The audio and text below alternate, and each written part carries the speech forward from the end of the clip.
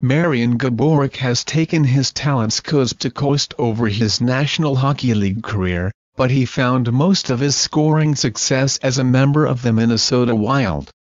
So it was a tad fitting that Gaborik would reach the 400-goal milestone against his former club, scoring twice in a 5-2 win for the Los Angeles Kings on Tuesday to extend LA's winning streak to six games.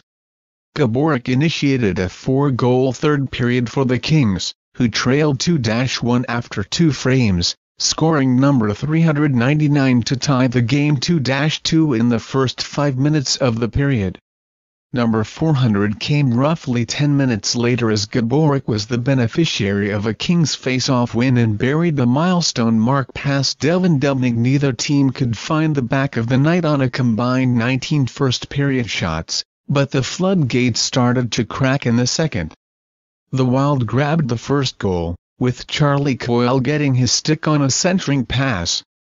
Jake Muzzin tied the game with a blistering slap shot after Drew Doughty found his defense partner in space at the top of the left circle.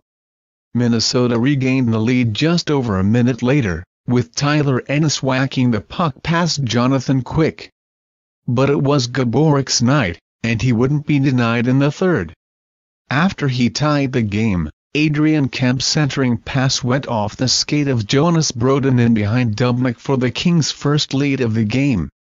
After Gaborik scored his 400th, Ems potted his 15th of the season to extend his goal-scoring streak to three games.